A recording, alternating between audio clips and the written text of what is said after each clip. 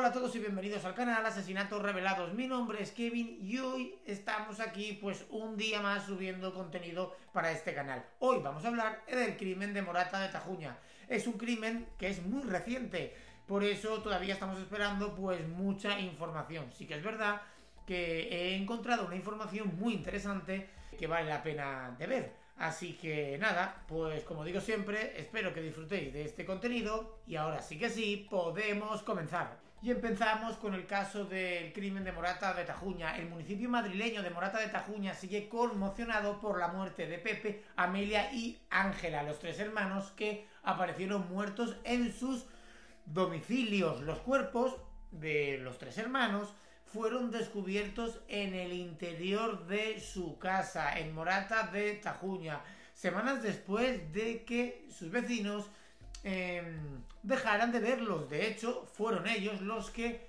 pues les parecía muy extraño el hecho pues de no verlos y entonces dieron así la voz de alarma en el ayuntamiento de este municipio y así de esta manera pues avisaron a la Guardia Civil. Los cuerpos de los tres fallecidos fueron encontrados quemados, apilados y con restos de sangre. Los agentes de la policía científica realizaron la inspección técnico-ocular de la vivienda, buscando de esta manera indicios que permitieran avanzar en la investigación. Cuando entraron en la vivienda, los agentes se los encontraron, encontraron los cuerpos medio quemados y en un avanzado estado de descomposición. La autopsia determinaría después que fueron asesinados a golpes con una barra de hierro.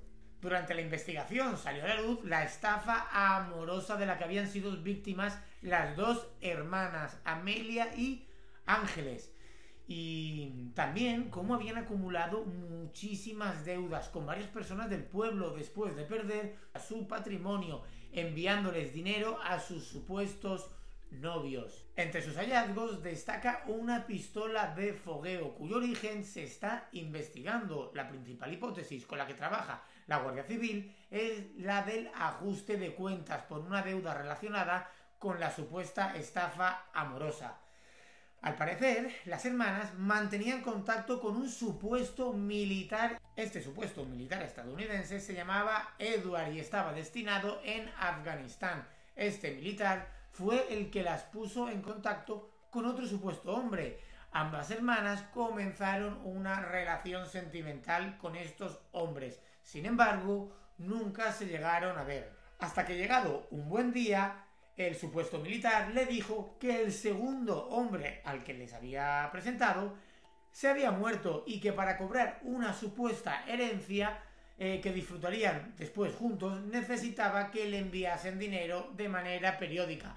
Desde entonces las hermanas comenzaron a enviar dinero periódicamente se sabe que sacaban el dinero que recibían por su pensión y que se lo enviaban a este supuesto militar. Entonces se supo que meses antes habían tenido a un inquilino que se hacía llamar el negro, un pakistaní con el que habían tenido un encontronazo. En concreto, una agresión que, que había cometido este supuesto pakistaní conocido como el negro a una de las hermanas que se llamaba Ángeles por una deuda de más de 60.000 euros que éste les reclamaba. Claro, se quedaron en la ruina, amigos y familiares les alertaron de que habían caído en las llamadas estafas amorosas. Sin embargo, las hermanas insistían en que el romance era verdadero, mientras se endeudaban para satisfacer las demandas del supuesto amante.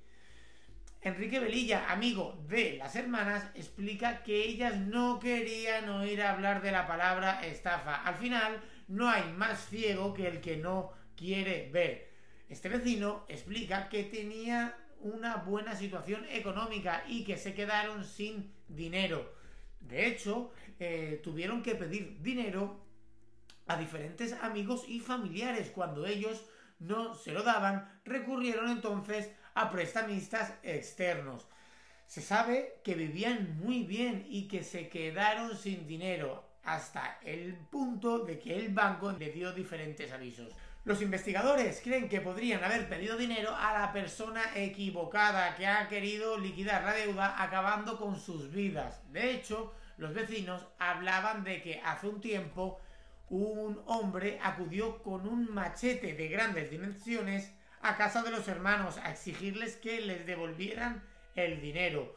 Durante los meses de verano alquilaron una de las habitaciones que tenían disponibles en la vivienda a un hombre al que acabaron debiendo cerca de 60.000 euros, quien en un momento dado eh, agredió a una de las hermanas con un martillo. Según cuentan, los vecinos dicen así, pensamos siempre que iban a amanecer muertas, explicó uno de ellos. La causa ha recaído sobre el juzgado de instrucción de Arganda del Rey y se encuentra bajo secreto de sumario. Desde finales del año eh, pasado nadie sabía nada de los tres hermanos. Las persianas verdes de su vivienda estaban bajadas y ninguno contestaba al teléfono. Muchos de, los vecinos pensaron pues que, que había la posibilidad que se hubiesen marchado a alguna de sus otras viviendas hasta que un fuerte olor empezó a salir de la casa. Tras la intervención en la vivienda y a posterior la investigación, la Guardia Civil iba detrás del, del negro para confirmar su posible implicación en el crimen cuando él mismo se presentó en el cuartel y lo contó todo en Arganda del Rey donde residían en los últimos tiempos. Dilawar Hussein, sus vecinos, lo definían entonces como alguien callado y reservado, aunque no podían imaginar que pudiera matar a tres personas a golpes y a sangre fría. Pero esto no es todo. Mientras que este hombre estaba a espera de juicio por el triple crimen de los hermanos, Dilawar Hussein, alias el negro, el pakistaní de 42 años, que fue detenido por el triple asesinato de los hermanos de Morata de Tajuña el pasado 22 de enero, ha matado a su compañero de celda a golpes con una mancuerna, según confirman fuentes de la Guardia Civil. A este tío no le vale nada, o sea, a este tío, vamos, como para quedar, como para echarte la siesta al lado del tiparraco. El compañero de celda muerto es Ángel Asenok un ciudadano búlgaro que llevaba encarcelado desde 2012, nacido en julio de 1983 en Varna, Bulgaria. Asenov estaba encarcelado por homicidio, aunque en realidad llevaba años entrando y saliendo de prisión. Su último ingreso fue en Estremera el 24 de enero por un caso de violencia de género. El primer dato de Asenov en el archivo de instituciones penitenciarias es de 2012, fue por lesiones y amenazas es el típico preso multireincidente que ha ido entrando y saliendo eh, de la cárcel. Eh, pues eso, a medida que entraba, pues salía, volvía a entrar y volvía a salir. Esto lo, así lo han dicho eh, diferentes fuentes de prisiones. No era un preso fácil, según funcionarios de esta cárcel, tenía muy mal carácter y apenas se relacionaba con nadie. Asenov daba problemas y de hecho no colaboraba en las labores comunitarias. Luego, en la prisión de Estremera, había entrado por un delito de violencia de género. Le cortó los pezones a su pareja. Actualmente, Asenov era un interno del módulo 12, el de preventivos, con especial agresividad. Vamos, que este tío, pues no es que fuese un ejemplo a seguir. Allí acabó compartiendo celda con el negro de Morata. No se les conocían, pues que tuvieran conflictos entre ellos. Charlaban y jugaban al ajedrez. Tampoco es que se hubieran hecho amigos, pero eh, sea como fuere, al final esa convivencia le ha costado la vida al preso búlgaro. El grupo de homicidios de la eh, comandancia de Tres Cantos de la Guardia Civil se ha hecho cargo de la investigación. Los hechos han tenido lugar en el módulo 12 de este centro penitenciario del sur de Madrid, donde estaba ingresado Dilawar Hussein. Y de madrugada, concretamente, hacia las 4 de la mañana, el pakistaní ha matado a su compañero a golpes en la cabeza supuestamente con una mancuerna o una pesa del gimnasio. Según se ha sabido, eh, el recluso desarrollaba una vida normal, sin ningún protocolo específico, aunque sí se encontraba en el módulo de presos conflictivos, a la espera de su juicio. Lo que tampoco parece que nadie pudo prever es que iba a acabar con también, también con la vida de su compañero de celda en un incidente nada habitual en las cárceles españolas y que en un principio no mantenían ningún tipo de disputa.